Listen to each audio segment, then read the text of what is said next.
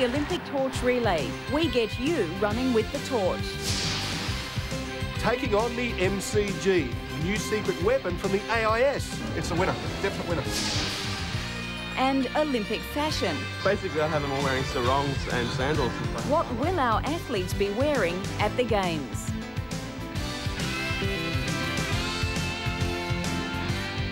Hello and welcome to the Games, the show full to the brim of Olympic spirit. I'm Tracy Holmes. And I'm Neil Brooks. Today we'll be looking at some kids inspired by the superfish and Peter Ottesen, the Australian behind the Greenest Games. Yesterday marked the first step in the upcoming epic journey of the Olympic flame from Olympia in Greece to Homebush Bay in Sydney. The torch will travel for 100 days once it lands in Australia, beginning at Uluru, and will cover an amazing 27,000 kilometres in all states until it's used to light the cauldron in Sydney's opening ceremony. SOCOG has just announced the specific route the flame will take as it crosses our country, so we thought we'd take you on an Olympic journey with a difference.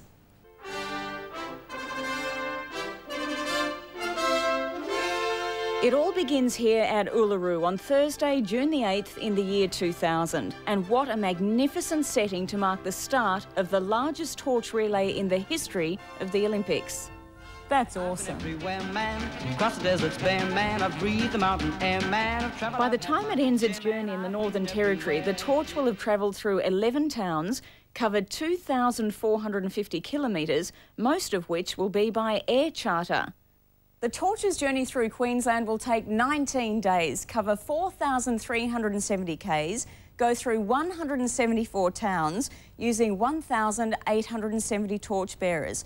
Not to mention its a rather unconventional underwater journey through our own Great Barrier Reef. Seymour, Lismore, Birdsville, Wallaville, Strathround, Proserpine, Darwin, Buggerville, I've been everywhere, man. Then it heads to Western Australia for a 10-day breeze through 41 towns, coasting along 1,605 kilometres of road and flying 3,275 k's not to mention the camel ride in Broome and the 1,059 torchbearers tossed into the mix. Moving on. Tuesday, July the 11th, South Australia gets the torch from Western Australia, care of the Indian Pacific Rail Line. After eight days, 800 torchbearers and 1,646 kilometres, the torch is passed on to Victoria. The Garden State will offer 2,165 residents the chance to carry the torch through 161 towns, covering 3,464 Ks over a period of 21 days, when it finally relinquishes the flame to Tasmania. The Bass Strait Ferry will spirit the torch across the Tasman to our island state, where it will travel for five days, allowing 478 people the opportunity of carrying the torch 842 Ks. As the torch makes its way back to the mainland, it'll go through Australia's capital territory before heading into New South Wales. For a journey lasting 36 days, it'll cover 5,506 kilometres with the assistance of 3,619 torchbearers. And finally, as the torch reaches the end of its journey here at the Olympic Stadium, the 110,000 people packed into this massive arena will erupt simultaneously, heralding the start of the 2000 Olympic Games.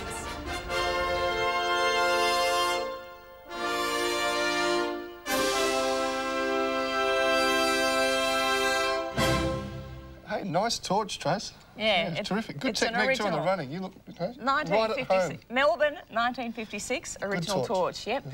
Thank you to Gary Fenton from the Sydney Olympic Broadcasting Organisation who lent us that. The flame is going to travel within an hour's drive of 85% of the population, so there's a great chance that it's going to be passing your door. Now, wouldn't it be great to carry the torch? What a once-in-a-lifetime opportunity. Next year at the Games, we'll be giving away the chance to do just that. As the relay approaches, we'll be giving viewers from each state the chance to win a spot in Olympic history. Now, that is a competition we'd all like to win. Wouldn't it be terrific? Excellent. I mean, so much a part of it. But now it's time for the Games News with Seven Nightly News' Paul Marshall. Westpac is the first company to buy time on the Seven Network's Olympic Games coverage, paying $13.9 million to become an Olympic telecast partner. Greg Norman will market and promote the 2000 Olympic Games. As part of the deal, he'll raise money for Australian athletes and help fit out the thousands of volunteers. And there's going to be a few of your hats around, the volunteers? Yeah, actually, you can count about 40,000 of them, so there'll be a lot there. and for Cathy Freeman this week, good news. Doctors have given her the all clear to resume training. The foot injury she sustained earlier in the year has all but healed, so Cathy will be back on track for Sydney 2000, starting with her first training session at Olympic Park on Monday.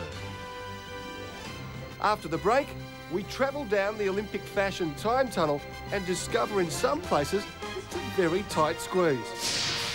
The hero who inspires these kids to train like dolphins. And I'm sure all the boys in the squad look up to him as a true legend and the mighty MCG versus the AIS. Oh, the one on the left says footy and the other one's touch of health about it. I can, I can sense it. Which Australian Olympian drives a red Lamborghini and keeps a Porsche and a Hummer in his garage? Is it Kieran Perkins, Lisa Curry-Kenny or Mark Philippoussis? The answer coming up next on the Games birthday.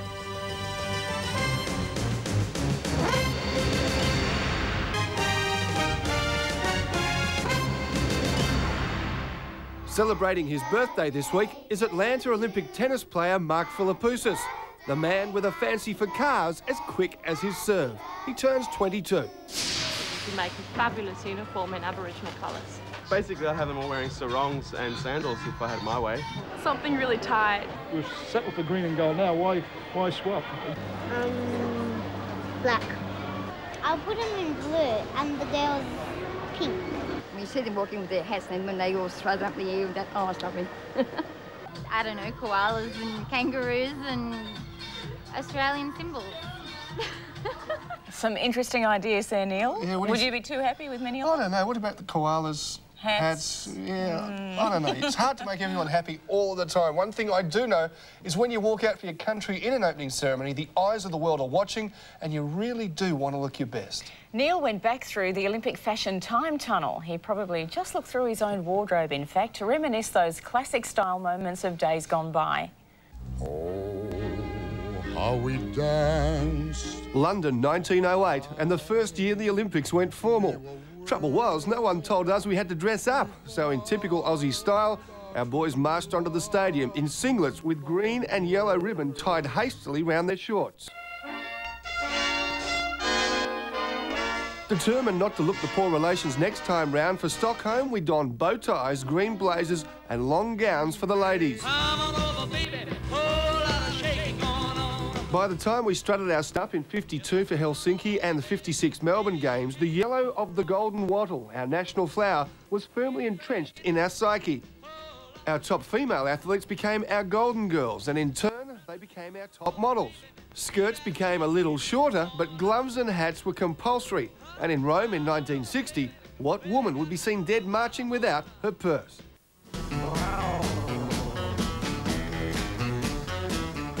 Never without controversy, our 1964 effort was described by some as looking like it just might have borrowed or maybe even nicked the outfits from the TAA change rooms.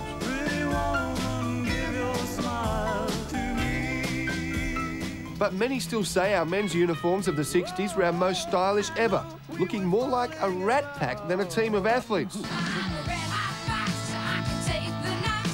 In 76, we lost hats for the first time, and what else but wrap-round skirts and platform shoes for the girls, and of course crotch-hugging trousers for the men. Into the 80s, Prue Acton said she designed that year's outfit to catch and hold the audience of millions of TV viewers. Our athletes marched into the stadium resplendent in flocks of emus, koalas and gumnut and leaf necklaces. She was right, a never-to-be-forgotten fashion moment. Now that designers had twigged that they only had a few seconds to flaunt their creations on international TV, the aim became maximum impact. And then came the Australian team, 298 athletes dressed in the now familiar Akubras and Driza-Bones. In 1992, our athletes not only sported official wear and travel wear, they also had formal wear, informal wear, and simple old lazing around the village wear. And this was the marching wear for Barcelona. They look just great here in the stadium. Such anticipation and high hopes for this team. The grand tradition of green and gold was put aside last time for something a little different. And for the first time, our athletes were consulted about the design of their garments. They're practical people. Their main gripe had always been, we don't like ironing. As they make their way out into this main stadium. It's such a huge business now, but I mean, let's get back to basics. This is the towel that Murray Rose used to dry himself after he won gold in uh, 1956. Hope he's washed it. I think he has, but what about this? I think someone's washed that? I think they must have put it in the dryer. No, this is the blazer I had at the Moscow Olympics in 1980, and just like the day I got it, it fits like a glove. Mm, so do the Cossies, don't they? Yes. Yeah, just, I like you parading around in feel those. natural. Huh? Mm. What do you think? It's not a bad look. Could be in the Australian cricket team. Don't go away. We've got lots more to come on the games. Getting dirty at Homebush. Hey, Tracy, where are your high heel shoes? yeah, yeah, right.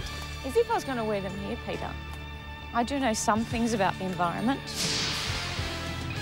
And why these kids are jumping with pride.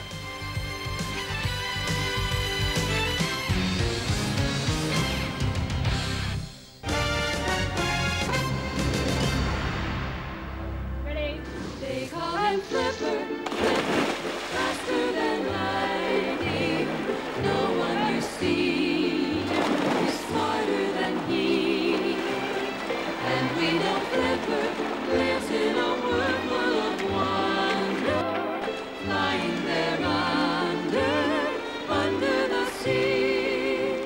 I'm Fraser Coombs, and I'm at Brisbane Boys College where Kieran Perkins went to school. It's great to have Kieran as an old boy at the school because it inspires the squad to race faster and train harder than we ever have before towards the Olympic gold. Everyone loves the king of the sea. One of Kieran's major achievements while he was still at school was in 1991 at the Pan Pac Games. Can he get 7, 50, 64? No! He just misses by four one hundredths of a second. Kieran is my hero, and I'm sure all the boys in the squad look up to him as a true legend.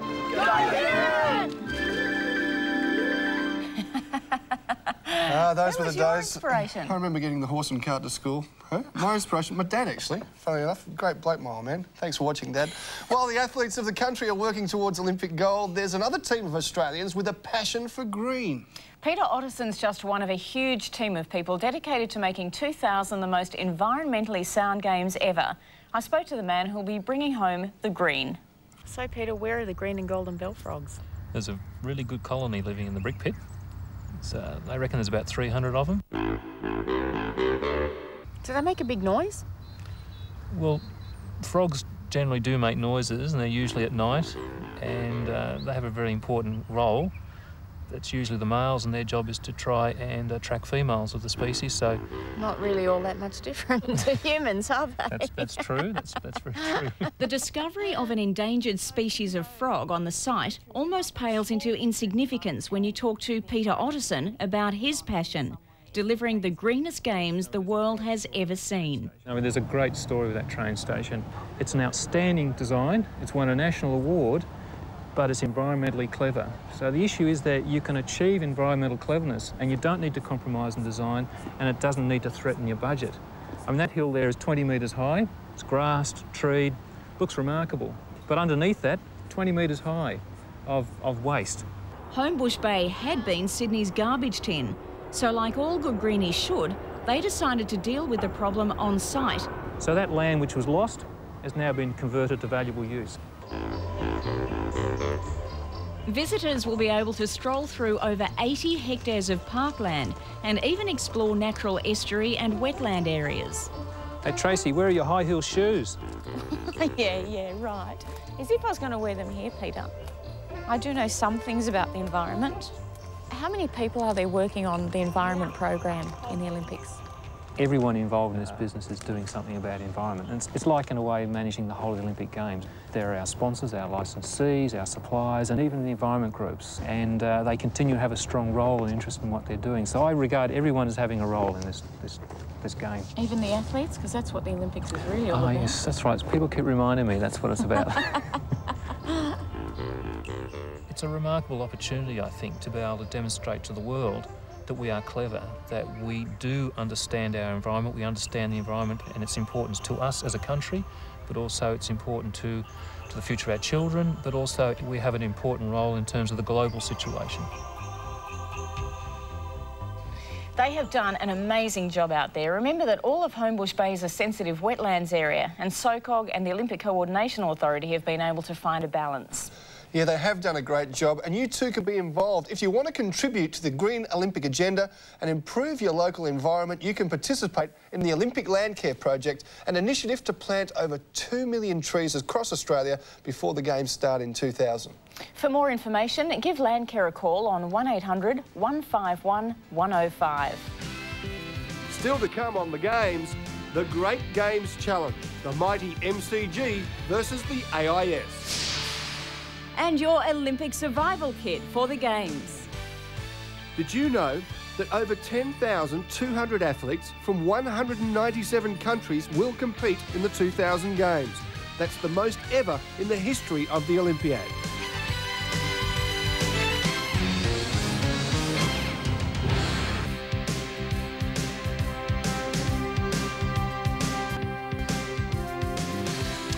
Welcome back to the Games. If you want to win free tickets to the opening and closing ceremonies for 2000, you must be a member of the Olympic Club. Here at the Games, we're giving away two family memberships to the Olympic Club each and every week, a prize valued at over $300. We will draw our weekly winner from all the letters, pictures and emails we receive from you each week. So drop us a line at lockbag 7777 Epping, New South Wales 2121 or email us here at the games at 7.com.au. This week's winners of the family memberships are Nick Moormill of Victor Harbour in South Australia. Nick is 11 years old and had his fantastic painting of the Olympic torch. Yes, and Catherine Sawicki from the ACT for this superb letter. And it starts off, Trace, by saying, Who should light the Olympic torch? Why, someone who's made the running track scorch. A fantastic athlete through and through, someone well known to me and you. Though of late she's been ill, still she surely fits the bill. A great inspiration to Aussies all the same.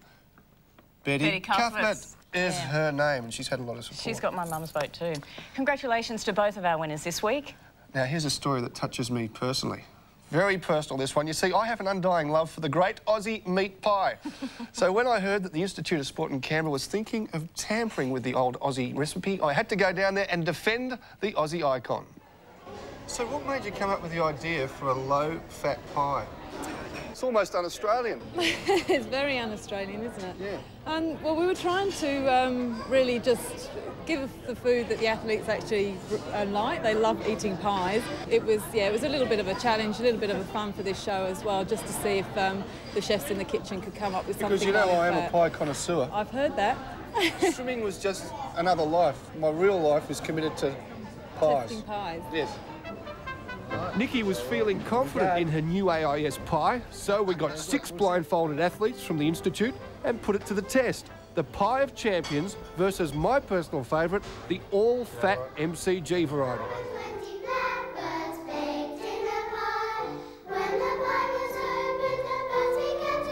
Which, one, which one do you like best? Petria?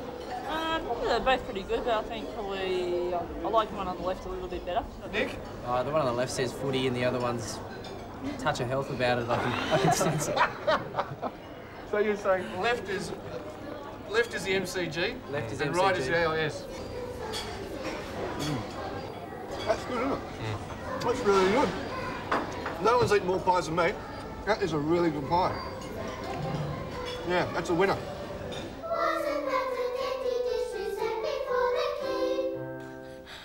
Many pies did you eat Oh, that just, day? just a couple, honestly. Yeah. They say they say TV puts weight on, doesn't it? because you wouldn't believe it, would you, sitting here now? It's having to do stories like that, Neil, I know. now it's time to announce the lucky Olympic Club members who have won tickets to the opening and closing ceremonies. Congratulations, and remember that each week the Olympic Club gives away over 200 free tickets to its members for all Olympic events. And you can look up the Games website for the full winner list. Neil, do you know all of the Olympic mascots? Oh. Personally, very well. Friends of mine. Do you know which animals they are? Well, I've got a fair idea. The Olympics furry friends. Everyone loves to get a big hug from Ollie when they see him, like this. These guys may be the next Olympians, and so could you. And the lockup, an insider's view. This was Brooksy's idea, wasn't it? Come on. Brooksy, where are you? I know you're here. That's next week on The Games. I told you you should have paid those parking fines. I've never had any. Well, I've never had your a fine of any sort. I know why you've got contacts at the police department to be able to set up things like that. I'll bake you a cake.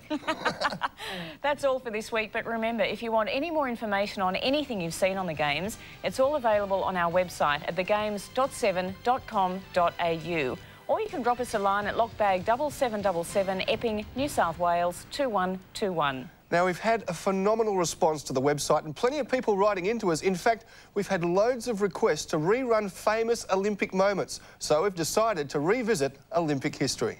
Peter Hughes, a mad hockey fan from South Australia, wrote in and asked to see the Hockeyroos slam home the goals in their gold medal winning performance in Atlanta. So here it is. See you next week. Bye. The Hockeyroos, their first penalty corner in this gold medal final.